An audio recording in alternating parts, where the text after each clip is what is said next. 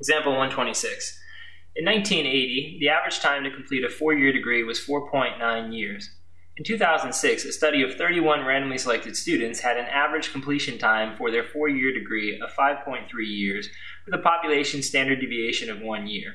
Use the p-value method to test the claim that the mean time to complete a four-year degree is now more than 4.9 years. All right, so it's a use a p-value method problem, right? So they're asking us to use the p-value method to test the claim that the mean. So it's a hypothesis test about the mean, and they want us to use the p-value method to do that. So let's write the claim down and start with that. All right, so the claim is that the mean time is now more than 4.9 years. The mean is more than or greater than 4.9 years. All right, so that's our claim. Our next step of the problem is going to be to get HO and HA. Now, the null hypothesis and the alternative hypothesis are obtained from the claim, right? So we look at the claim and we ask what symbol we're dealing with. Since it's a greater than symbol, it's going to mean that HA and the claim will be the same because a greater than symbol is something that HA uses. All right, and then the null hypothesis is going to be the opposite or the complement, so to be less than or equal to 4.9. Okay, so we now have the claim, the HO, and the HA. Now let's collect the data for the problem.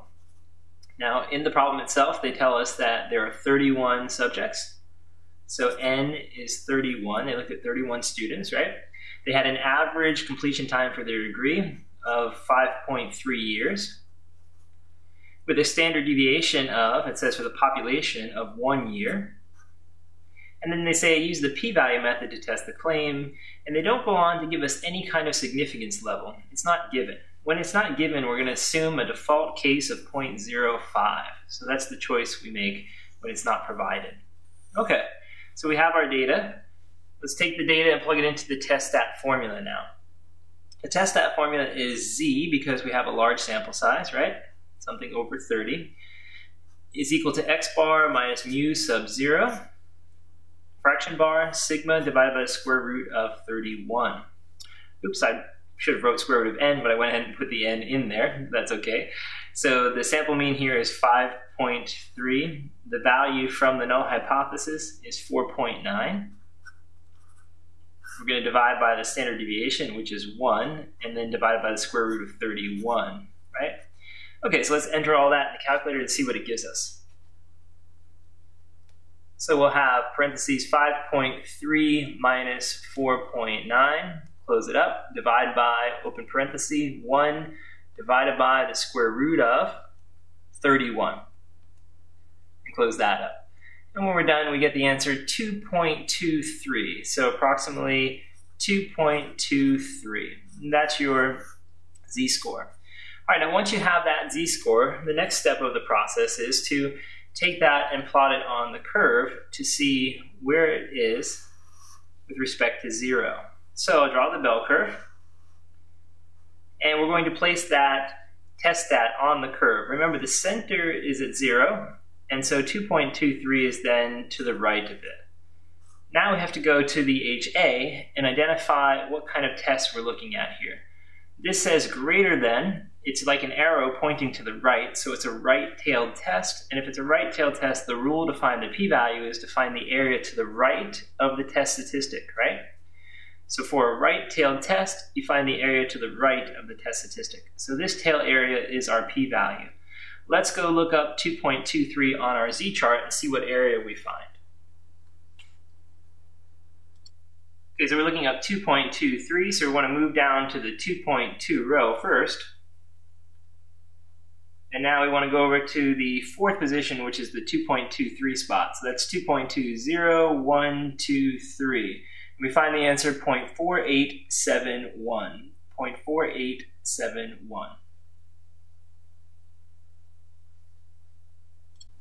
Okay, so we found the answer 0.4871. Remember, that's the area from the line to the center. We need to find the leftover amount, which is what goes in here. So we would literally do 0.5 minus that value. So 0.5 minus 0.4871. And of course, it's going to give you 0.0129. So in this case, we have 1.29% in the tail, and that's equal to our p-value.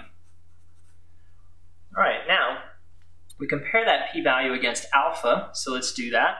So remember the p-value is equal to 0.0129.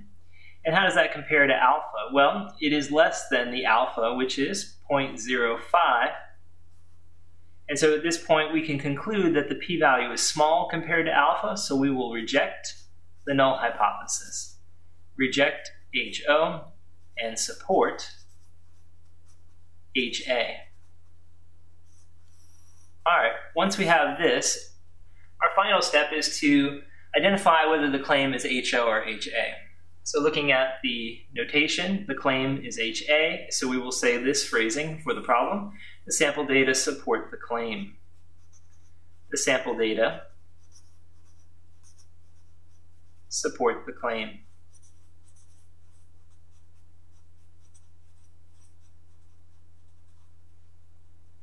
And so that's our conclusion.